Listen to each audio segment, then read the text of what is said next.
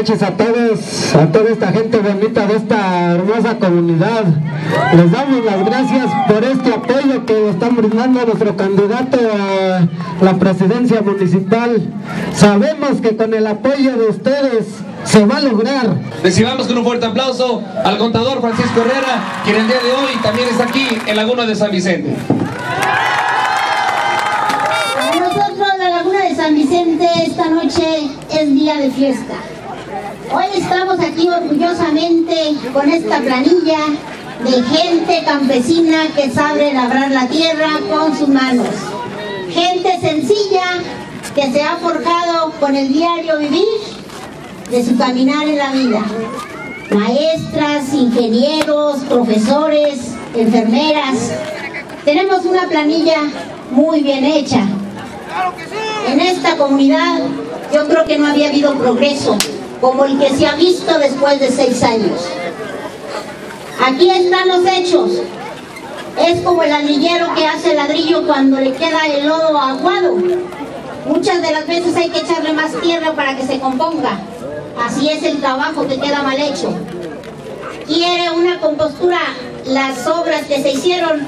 Aquí está nuestro candidato para darle el seguimiento a todas las obras que inició. La frente en alto se presenta aquí porque es un hombre de principios, con una moral, con una familia. Yo creo que eso es lo que una comunidad quiere de un candidato, que sea un hombre sencillo y honesto. Profesora Silvia Ramírez Guerrero, originaria de la cabecera municipal. La licenciada Sandra de Jesús García Orduña.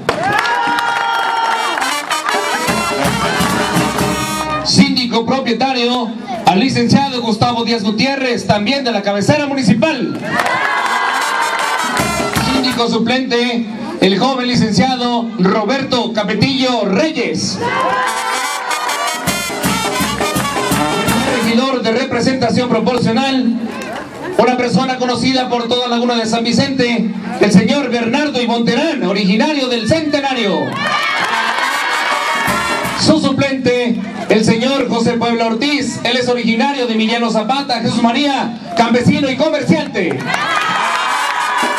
Segundo regidor de representación proporcional, ella es la enfermera Leticia Moreno Lara, originaria de la comunidad del Rosario.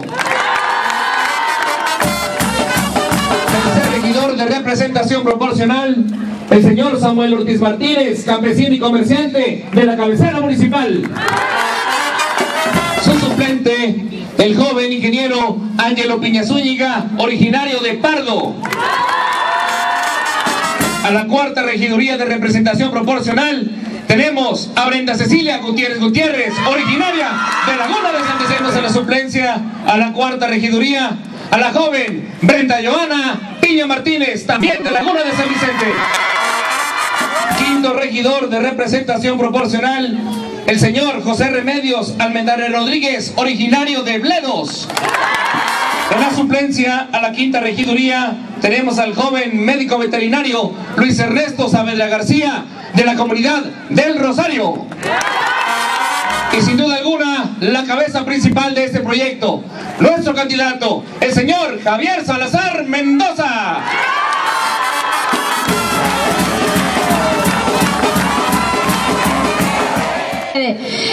Gracias amigos y vecinos, gracias por este apoyo. Nuestro compañero decía, la laguna se siente orgullosa, pero no, créanme que tanto Joana como yo estamos tan orgullosas de representar a la laguna.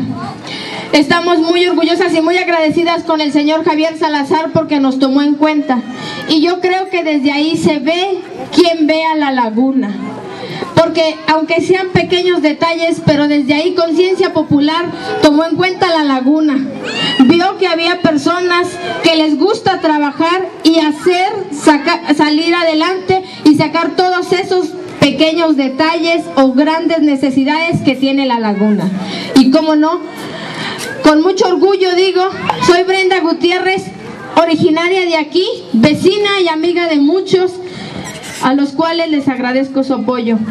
Voy a ser un poco, un poco breve porque aquí en la planilla hay varios que yo creo que a ustedes también les va a gustar que les extiendan el agradecimiento que todos nosotros traemos con ustedes. Nada más hacerles mención que es cierto que Conciencia Popular es un partido joven, pero no pequeño. No pequeño ¿por qué? Porque así como ustedes, bendito Dios, en todas las comunidades se nos ha dado una bienvenida grata y muy sincera. No es un partido joven ni pobre, ¿por qué? Porque Conciencia Popular hasta el día de hoy se caracteriza con hechos, no con palabras. La laguna es un clave, es clave, punto clave en la trayectoria de Conciencia Popular. Si bien también cabe mencionar que no me gustaría decirlo, pero la verdad no me lo puedo callar. Es cierto que a nosotros nos molesta y nos da mucho, mucho coraje que se burlen de nuestra gente. Eso sí es cierto. Hay un partido que ustedes ya más o menos han de saber que hace tonta a mi gente. ¿Y por qué? Porque trae engañado a un señor diciéndole que va a ser el presidente de obras públicas de la laguna, cuando ese puesto ni siquiera existe. Ese puesto se conoce como consejero y no lo pone ningún partido ni ningún candidato, menos ningún presidente. Ese puesto lo escoge el pueblo. El pueblo escoge quién es su consejero para que lo represente y saque obras. No hay ningún presidente de obras públicas en ninguna planilla. Y eso da coraje. ¿Por qué abusar de la gente? ¿Por qué utilizarla? A este señor le pidieron disque unos papeles porque iba dentro de... Eso no es cierto. Y eso sí da coraje. No me gusta a mí hablar de la gente. No es nuestra política y no es nuestra costumbre.